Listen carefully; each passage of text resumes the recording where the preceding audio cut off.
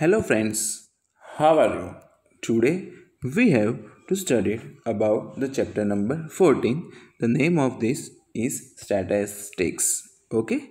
In previous video lecture we have to study about the step deviation method. The formula of step deviation method is x bar is equal to a plus sigma fi ui upon sigma F I into H okay ये हम पहले video lecture में पढ़े थे। Now today we have to study about the mode of grouped data okay the symbol of mode is capital Z जो तीनों तीन है मीन मीडियन और मोड में सबसे इजी जो है, वो हमारा आज का वीडियो लेक्चर मतलब कि मोड, वो सबसे इजी है। And the symbol of mode is capital Z the formula of mode is Z is equal to L plus F one minus F zero upon two F one minus F zero minus F two into H okay? थोड़ा देखने में बहुत लंबा लग रहा है but वो बहुत ईजी है। फॉर्मूला क्या हमारा Z is equal to L plus bracket में F one minus F zero upon two F one minus F zero minus F two bracket close and into H okay? तो सबसे पहले यहाँ पे हमारे लिए बहुत सारे नए टर्म हैं लाइक एल क्या है? एफ़ वन क्या है एफ़ ज़ीरो क्या है एफ़ टू क्या है? एच तो हमको पता है कि वो क्लास लेंथ है, जो हम पिछले वीडियो लेक्चर में देख चुके थे।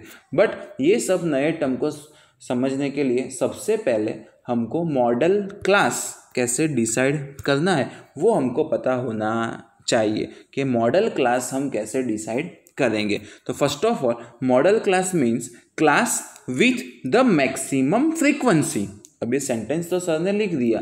बट उसको आप ज़्यादा डीप में समझ नहीं पाए।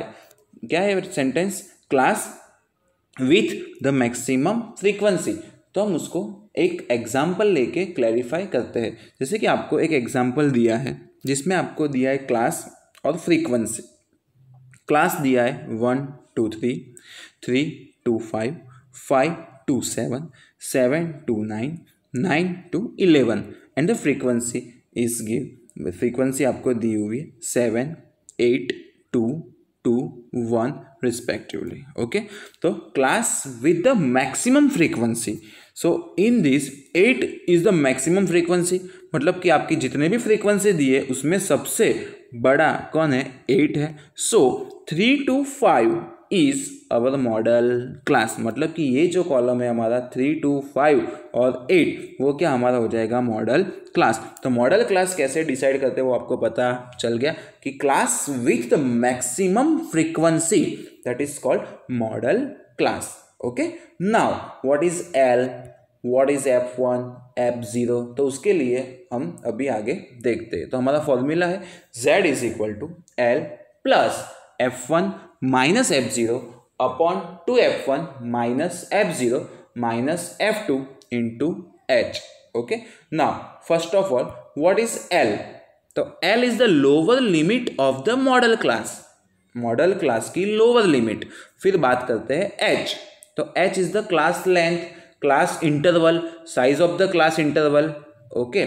फिर बात करते हैं एफ़ वन तो F one is the frequency of the modal class मतलब कि जो हम मॉडल क्लास डिसाइड करते हैं, उसकी फ्रीक्वेंसी फिर बात करते हैं F zero the frequency of the class preceding of the modal class मतलब कि जो मॉडल क्लास है, उसकी ऊपर वाली फ्रीक्वेंसी फिर बात करते हैं F two the frequency of the class succeeding the modal class मतलब कि उसके नीचे वाली जो फ्रीक्वेंसी होगी, वो हमारी हो जाएगी एफ़ टू इसको भी हम एक एग्ज़ाम्पल लेके ज़्यादा क्लेरिफाई करते हैं कि यहाँ पे आपको एक चार्ट मतलब कि टेबल दिया हुआ है क्लास और फ्रीक्वेंसी का, ठीक है? तो सबसे पहले हम मॉडल क्लास डिसाइड कर देंगे। तो यहाँ पे सबसे बड़ी फ्रीक्वेंसी है, जो है एट है तो वो क्या हो जाएगा हमारा मॉडल क्लास ठीक है?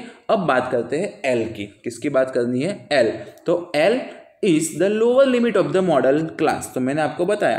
कि यहाँ पे मॉडल क्लास हमारा हो गया थ्री टू फाइव तो उसकी लोअर लिमिट है, वो होती है थ्री मतलब पहले वाली जो होती है, वो लोअर लिमिट होती है और second one is the upper limit but हमारी यहाँ पे लोअर लिमिट की बात हो रही है. Therefore L is equal to क्या हो जाएगा? थ्री नाउ हम बात करते हैं एच तो एच तो हमको पता ही है कि सबका डिफरेंस सब में दो दो का है।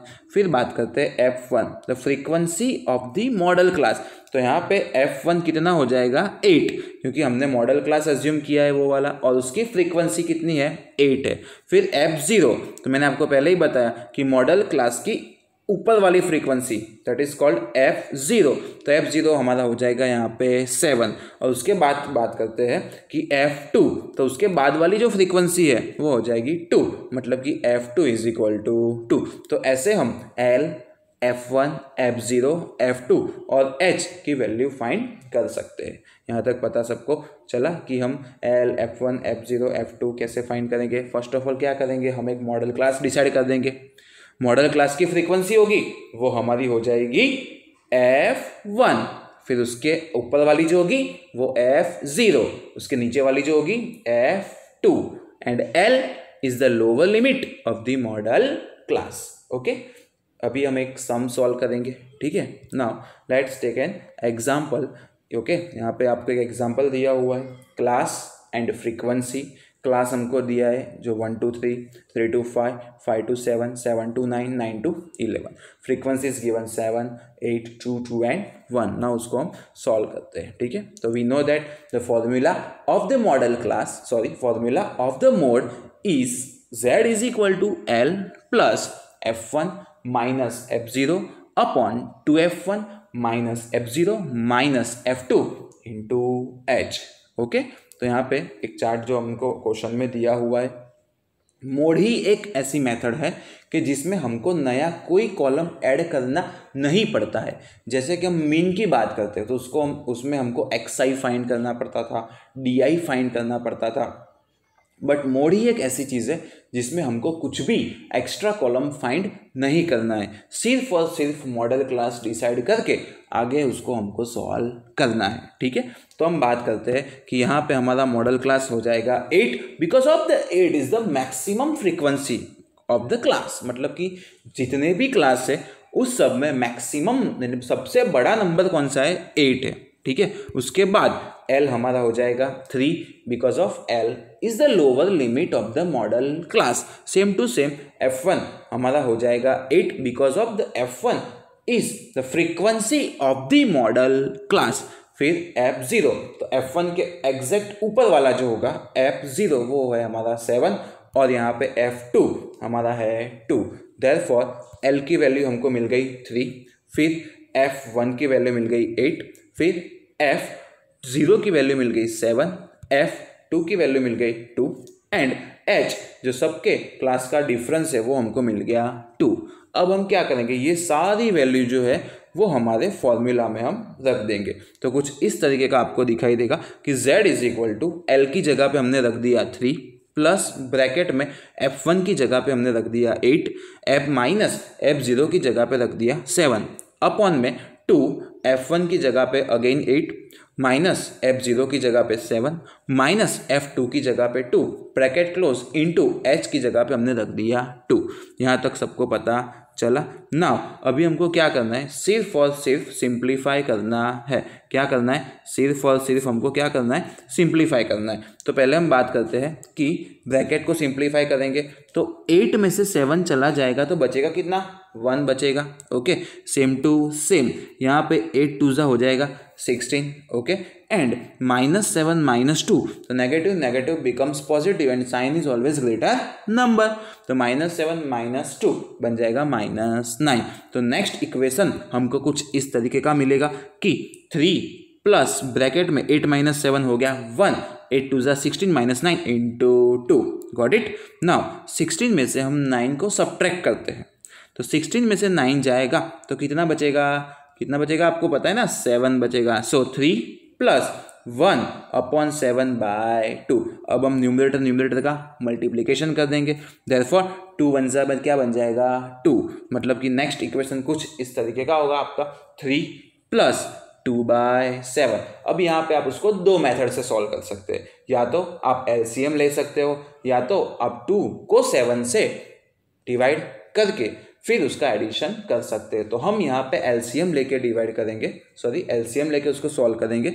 तो हम यहाँ पे सेवन को एलसीएम लेंगे और उसको थ्री से क्या कर देंगे? मल्टीप्लाई करेंगे। सो सेवन थ्री ज़ा ट्वेंटी वन प्लस टू और अपॉन में हो जाएगा seven twenty one plus two कितना हो जाएगा? Twenty three.